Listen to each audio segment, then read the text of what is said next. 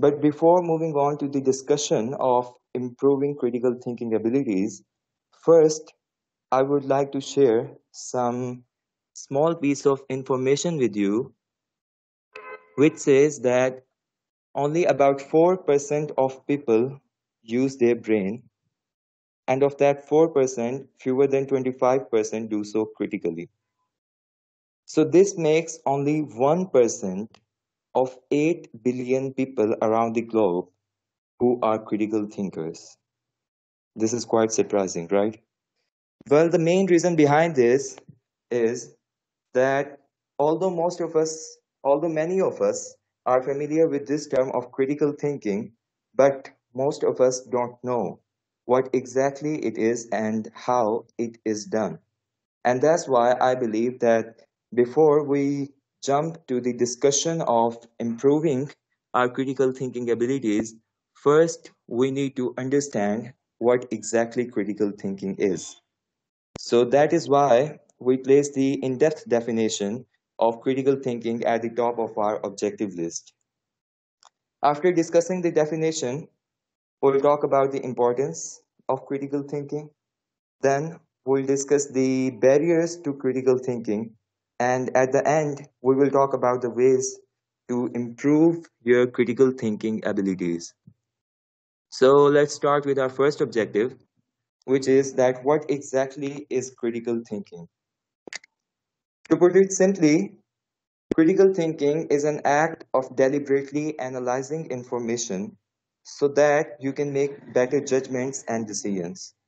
And it is also known as the disciplined thinking because there are things like logic and reasoning to draw uh, which help you to draw conclusions and solve the problems more better and generally understand things in a much better way. And the most important thing in critical thinking is whenever you are presented with some important decision to make or some problem to solve you have to ask questions before you jump to the conclusion so let me make this more clear with an example. Uh, so yes, imagine imagine that on your exam day, when you are getting ready for college, uh, suddenly you hear the news that your beloved grandmother has passed away, and now your family is going to pay her a visit. So in such situation, what will you do now? Will you take your exam or will you just go and visit your dead grandmother's grave? Well, if you are about to think critically and logically, you will first think, what is more important for me? And what will be the consequences if I just leave the exam and visit my grandmother's grave or do the opposite? And during this, you will also take use of the information that you already know. For example, you know, we know that uh, it won't affect a dead person. Either you visit him today or tomorrow, right? So after thinking all of this, you will finally make the decision that, okay, today I'll just go and give my exam. And tomorrow or after the exam, I will visit my grandmom's grave. So this is all from my side. And from here onwards, I invite Muhammad Umair to take from here onwards. Thank you. Assalamu alaikum. Today I'm going to enlighten the importance of critical thinking and highlight a few remarkable advantages we get through critical thinking. The need for man to invent new technologies is as old as humanity itself. In the past centuries, the efforts and achievements of different engineers made enormous impact on the world we live in today. As all of you very well know that Charles Babbage invented one of the first computers, Graham Bell helped to invent the modern telephone, and James Watt perfected the steam engine. Do you know how they achieved success and became unforgettable in history? What was the common habit in all of them? Well, they were all critical thinkers. Critical thinking makes you the brightest and outstanding person compared with others. Now, I'm going to explain the significance of critical thinking. First, I would say that quick and accurate decision making go hand in hand with critical thinking. It leads to a replicable process for planning, researching, presenting ideas, and recommendations. The final decisions are too accurate and are difficult to be challenged by anyone. It is important to mention here that critical thinking mindset saves time. It teaches you how to prioritize your time and resources by analyzing what is essential to the process. Secondly, critical thinking provides a foolproof decision which can't be objected. It provides decision makers the assurance that your recommendations are based on a process of critical thought. With a sound critical thinking process, others may not agree with your recommendations, but they can't find fault in the process. Lastly, by adopting the habit of critical thinking, an engineer leads to professionalism. Your critical thinking will naturally help you to achieve the right decision, and this will in turn make it easier for you to explain this to others. Now I will highlight the skills needed for critical thinking. Well, critical thinking allows an engineer to address and understand situation based on all available facts and information. When using these skills, the engineer will sort and organize data and other information to define a problem and then de- develop effective solutions. Now, I will describe in detail the skills that an engineer needs in order to be able to think critically. First skill needed is observation, and it is the starting point for critical thinking. Engineers who are observant can quickly sense and identify a new problem. Those skilled in observations are so capable of understanding why something might be a problem and may even be able to predict when a problem might occur. Secondly, analysis is important. Once a problem has been identified, analytical skills become essential. The ability to analyze the situation includes knowing which facts, data, or information about the problem are important. You will find analysis as an essential skill to eventually solve the problem. Thirdly, interpretation is a skill that involves drawing conclusions about the information an engineer collects and may require him to possess technical or industry specific knowledge or experience.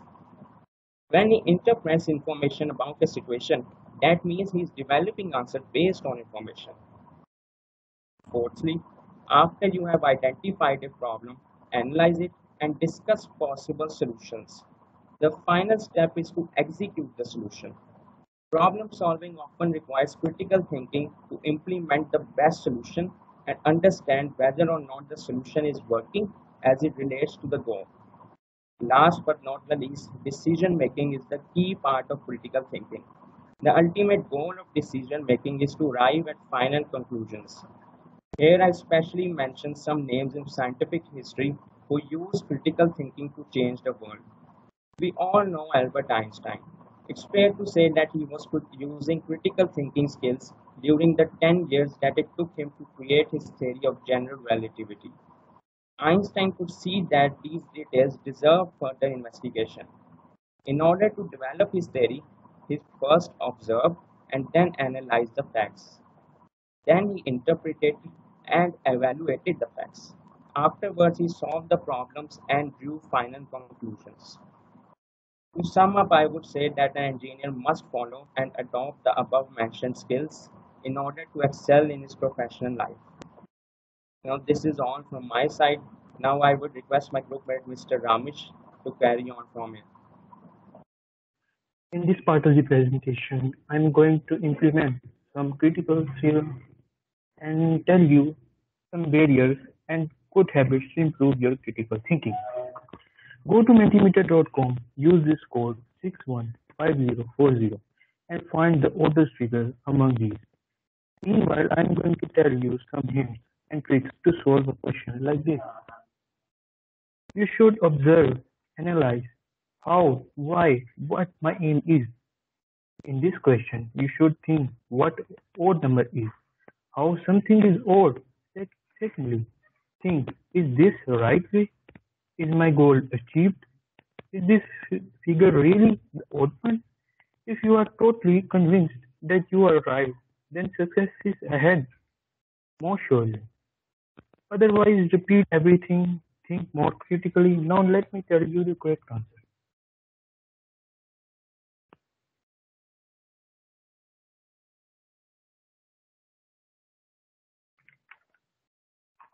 If you think this question critically, you will eventually know one thing that all figures are odd except first one. Why is that? Because it is the only object that do not have an individual trait. So, oddest one is that which is not odd.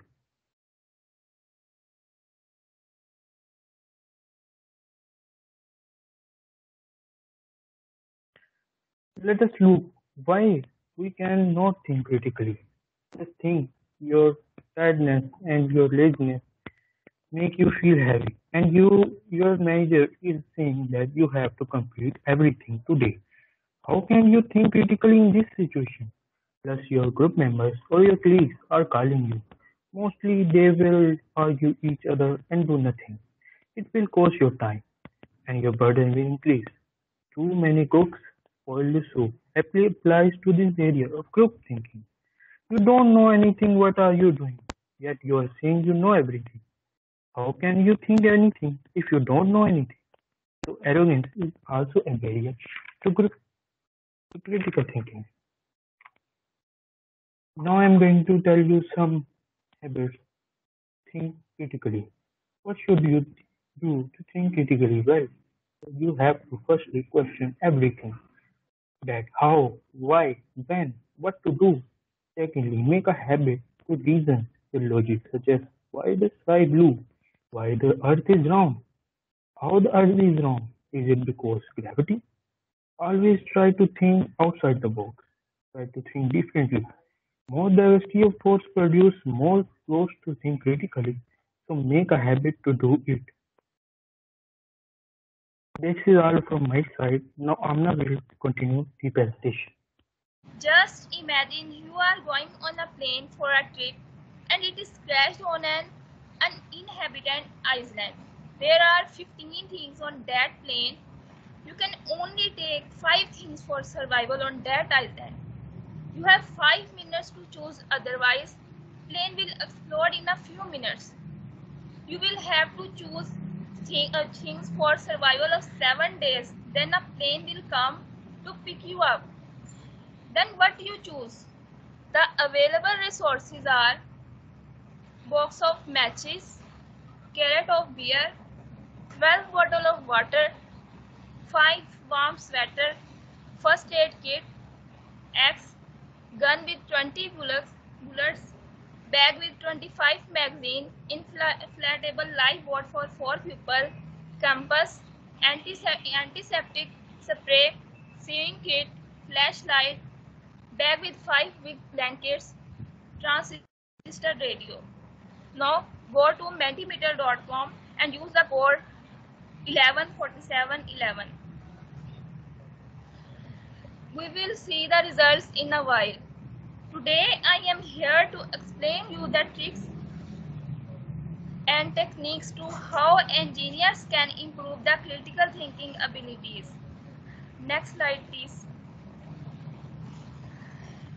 The first step is very demanding that is ask questions. I sometimes find myself shying away from questions.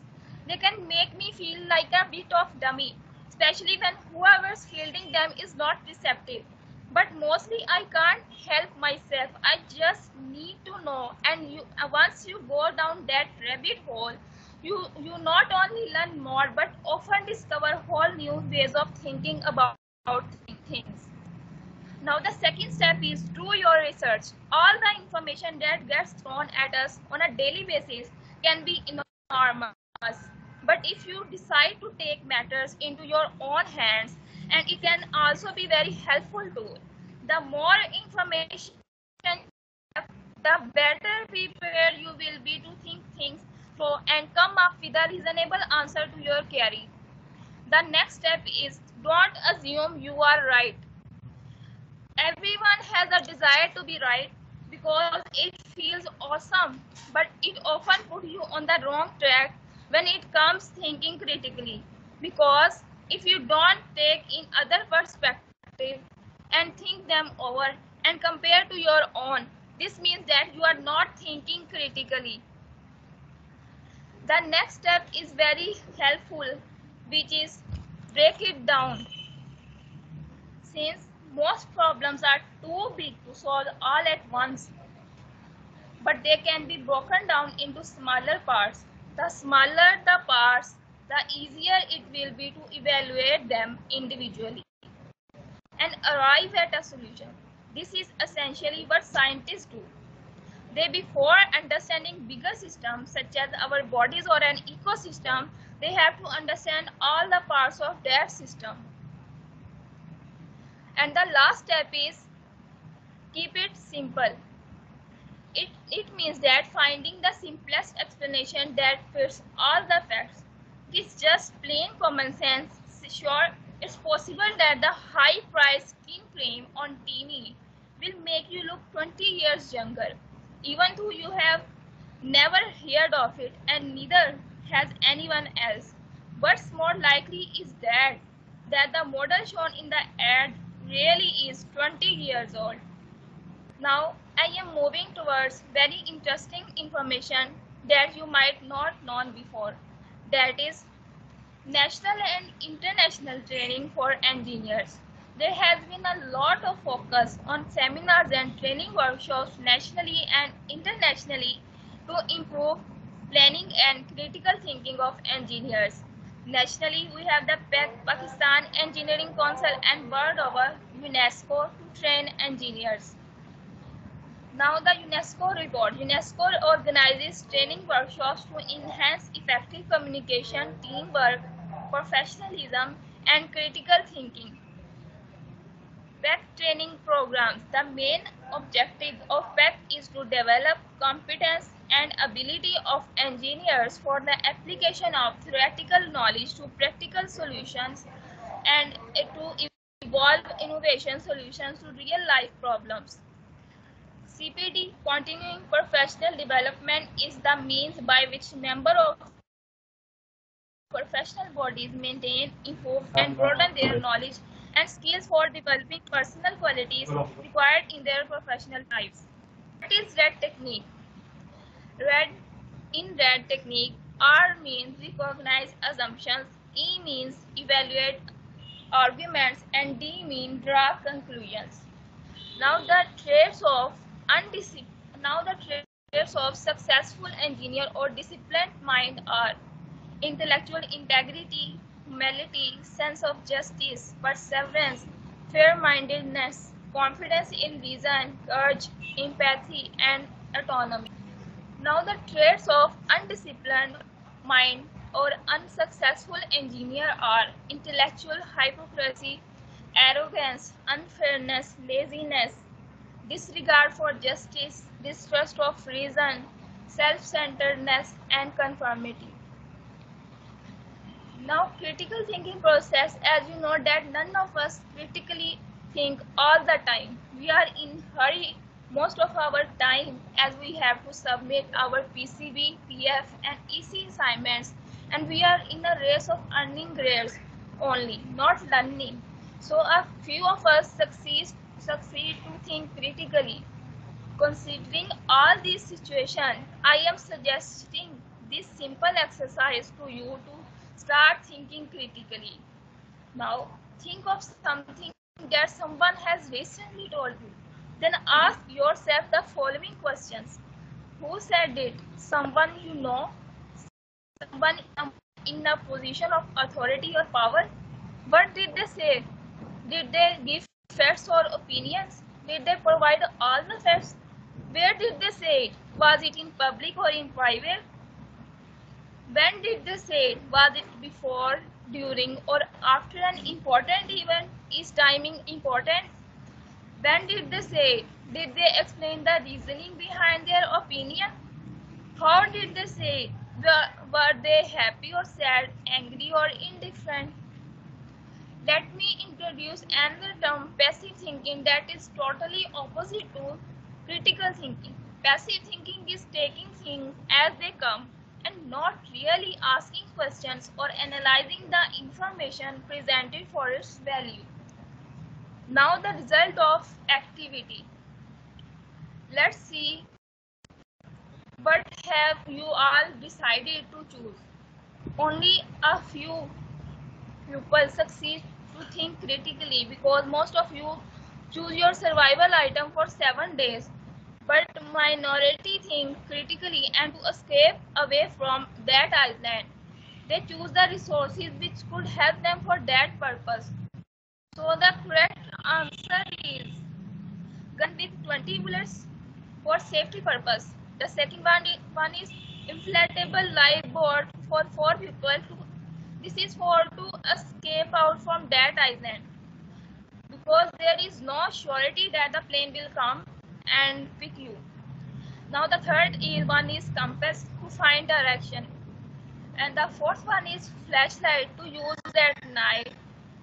And the last one is transistor radio to communicate. After all these details along with authentic facts and figures, I have just one question and the question is, do you want to achieve success by improving your critical thinking or you want a failure by using passive thinking? Now the decision is yours. Best of luck and thank you for your precious time. We are going to talk about how engineers can improve their critical thinking abilities. The contents we should cover today are what is critical thinking, importance and way to improve it. Let's begin. All the students are saying about option A, which is start preparing because they are sincere what they are doing and they are careful to their future. Now, I would invite Mr. Muhammad Usman to tell you about what the critical thinking is.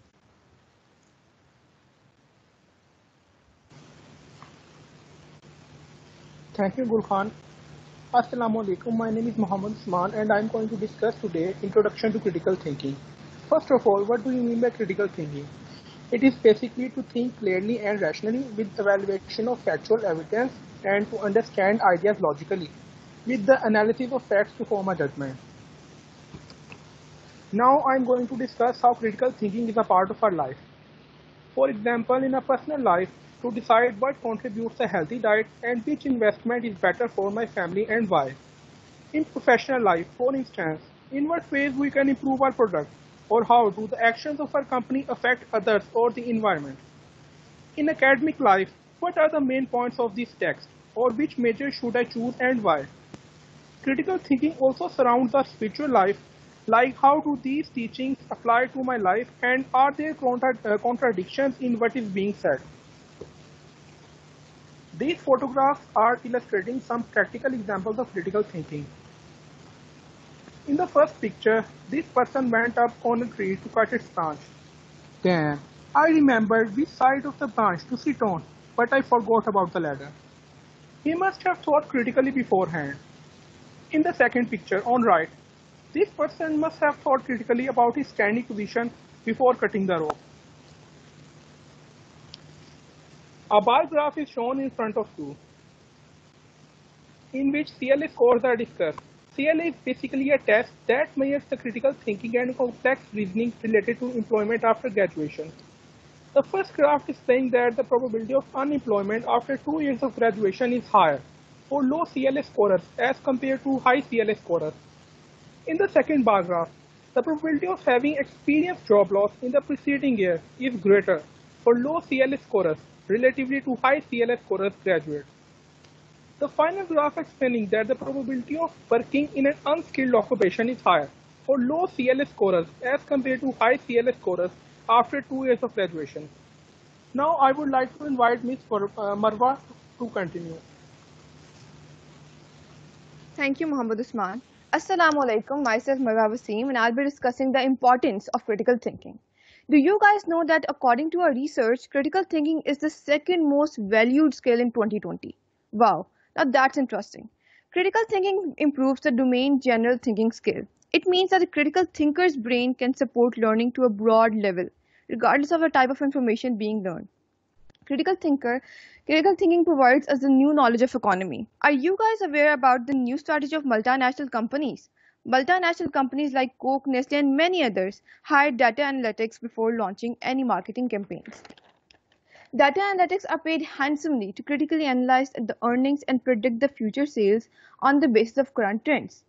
Critical thinkers are fluent in their language as they discuss a lot and they are great, great presenters as they work a lot on themselves.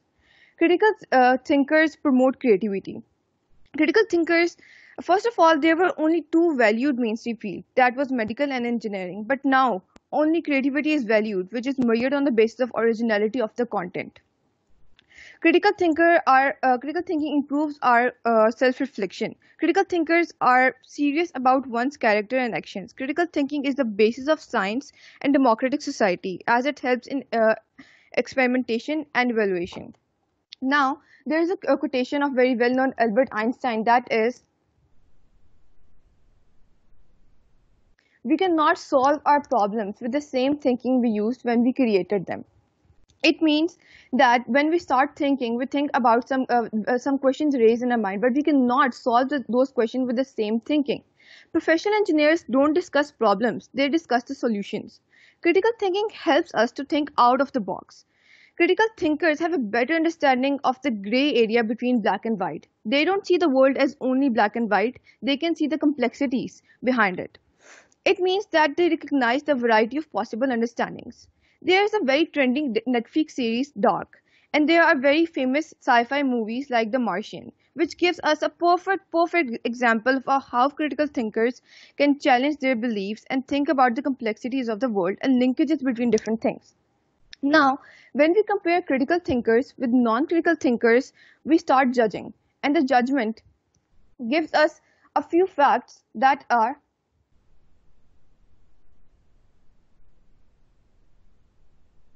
the critical thinkers are uh, skeptical. It means the critical thinkers are great uh, questioners. They question about everything who, when, how, and where. Critical thinkers are active thinkers. They don't take egoistical view of the world. They are open to new ideas. They are more precise, more meticulous, and more comprehensive. Whereas non-critical thinkers take their facts as only relevant ones, take their perspective as only sensible ones, and take their goal as the only valid one. Now, I'd like to discuss the thinking of critical thinkers. Critical thinkers share the same conception that is work smarter, not harder. Smart work is like putting minimum effort which causes maximum impact on the result. Critical thinkers are more conceptual and more realistic and can make decisions without wasting time they usually uh, they usually know the pros and cons of their decision and don't indulge themselves in irrelevant thoughts. Now I'd like to share a graph with you people that shows the demand of different skills in advertisements over the past three years. And here it is, critical thinking is the second most valued skill, which is at 158% and it is demanded a lot by the ad uh, advertisement different companies. And the more interesting fact is that presentation skill, creativity, and digital literacy, it's nothing without critical thinking. If you cannot think critically, you cannot achieve the all, all other skills. Now, to conclude this part of the presentation, I'd like to share a little meme with you all.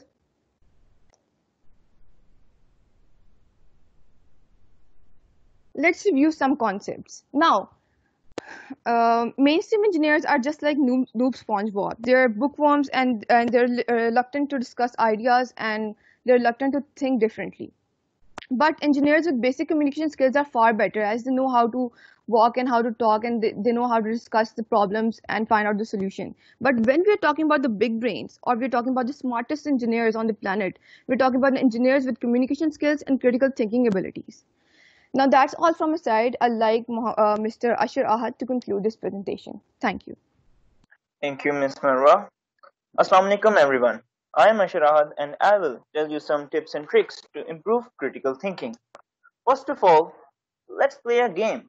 Be ready guys because you have to use the core of your brain to figure out this game. So let's start the game.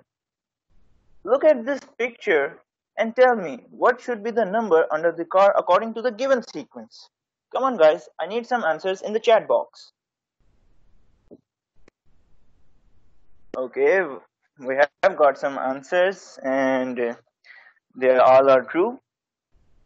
But it will be easier for us if we rotate this picture about 180 degree. It will be a lot, lot easier for us. So the thing is, you have to see a problem from a different angle. Okay, let's move towards the next game. In this game, I will give you a condition and you have to choose the right option. Suppose you are in a dark room and you have only one matchstick with you, but luckily there is a candle, an oil lamp and a gas stove. Which one do you light first? Answers in the chat box please. The correct answer is the matchstick. You see, first you have to analyze the problem and then you have to think about the solution. And that's critical thinking. Critical thinking is a metacognitive skill. What this means is that it is a high level cognitive skill that involves thinking about thinking. We have to be aware of good principles of reasoning and be reflective about our own reasoning. The mastery of critical thinking is similar to mastery of many other skills. There are three important components theory, practice, and attitude. First of all, theory. If we want to think correctly, we need to follow the correct rules of reasoning. Knowledge of theory include knowledge of these rules. These are the basic principles of critical thinking, such as the laws of logic and the method of scientific reasoning, etc. Also, it would be helpful to know something about what not to do if we want to reason correctly. This means we should have some basic knowledge of the mistakes that people make. First, this requires some knowledge of typical fallacies. Second, psychologists have discovered persistent biases and limitation in human reasoning. And awareness of these empirical findings will alert us to potential problems. Next one is practice. However, merely knowing the principles that distinguish good and bad reasoning is not enough. To be good at critical thinking skill, it is necessary to internalize the theoretical principles so that we can actually apply them in our daily life. There are at least two ways. One is to do lots of good quality exercises. Exercises include not just exercises in classroom and tutorials, they also include exercises in the form of discussion and debates with other people in our daily life. The other method is to think more deeply about the principles that we have acquired. In the human mind, memory and understanding are acquired through making connection between ideas. Next one is attitude. Good critical thinking skill require not just knowledge and practice. Persistent practice can bring about improvement only if one has the right kind of motivation and attitude. The following attitudes are not uncommon, but they are obstacles to critical thinking such as I prefer being given the correct answer rather than figuring them out myself, or I don't like to be criticized.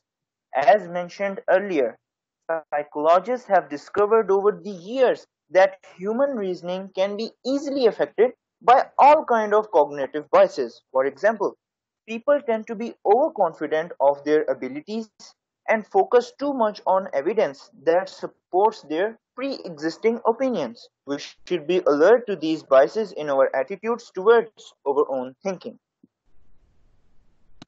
Now, we came to the part I'm sure you all have been waiting for. How the heck do we get better at critical thinking? Below, you will find 7 ways to get started. Number 1. Ask basic questions. The world is complicated, but does every problem require a complicated solution? Sometimes an explanation becomes so complex that the original question gets lost. To avoid this, continually go back to the basic question you asked when you set out to solve the solution. I would suggest to seek the simple solution first. Number two, question basic assumptions. Some of the greatest innovators in human history were those who simply looked up for a moment and wondered if one of everyone's general assumption was wrong. From Newton to Einstein, questioning assumptions is where innovation happens. Number three, be aware of your mental processes. Human thought is amazing, but the speed and automation with which it happens can be a disadvantage when we are trying to think critically. All of us have biases in our thinking. Becoming aware of them is what makes critical thinking possible. Number four, try reversing things. A great way to unstuck on a hard problem is to try reversing things. It may seem obvious that X causes Y, but what if Y caused X? The chicken and egg problem is a classic example of this. At first, it seems obvious that the chicken had to come first. The chicken lays the eggs after all, but then you quickly realize that the chicken had to that the chicken had to come from somewhere, and since chicken came from eggs, the egg must have come first. Number 5. Evaluate the existing evidence. When you are trying to solve a problem, it's always helpful to look at other works that has been done in the same area. There's no reason to start solving a problem from scratch when someone has already laid the groundwork. It's important, however, to evaluate this information critically or else you can easily reach the wrong solution. Number 6. Remember to think for yourself. Don't get so bogged down in research and reading that you forgot to think for yourself. Sometimes this can be your most most powerful tool. And last one, number 7, understand that no one thinks 100% critically all the time. You, can't think critically all the time, and that's okay. Critical thinking is a tool that you should deploy when you need to make important decisions or solve difficult problems. But you don't need to think critically about everything. In the end, I would like to say that the important thing is not to stop questioning. Curiosity has its own reason for existing by Albert Einstein. Thank you everyone. That's all from our side. And if you have any question or query, we would love to answer that.